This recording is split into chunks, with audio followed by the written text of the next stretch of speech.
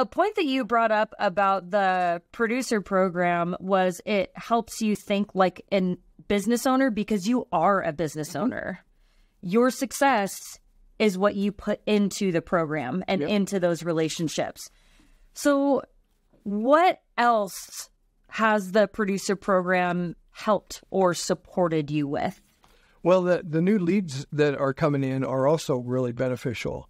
Um, in fact, we have a CRM training today uh, for what's coming online for lead generation and all that. And so, uh, but you know, if I always look at it as I'm always working. So when people, you know, if I get a call at six o'clock in the evening or seven o'clock, and I'm really sorry to call you so late. Hey, I'm always online. I'm always I'm always working. So that makes them think that you're not just a nine to five guy, and you're not you're not available.